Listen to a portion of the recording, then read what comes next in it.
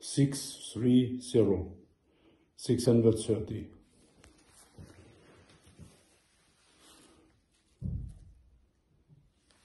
Strong, long wings.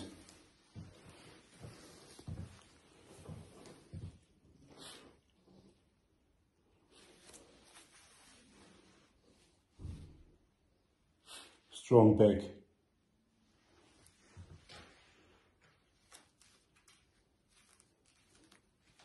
Super balance.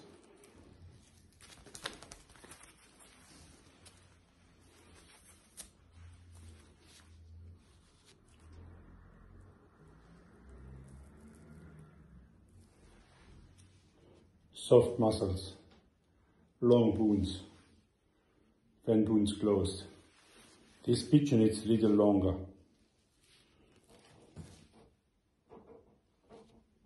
You can see it.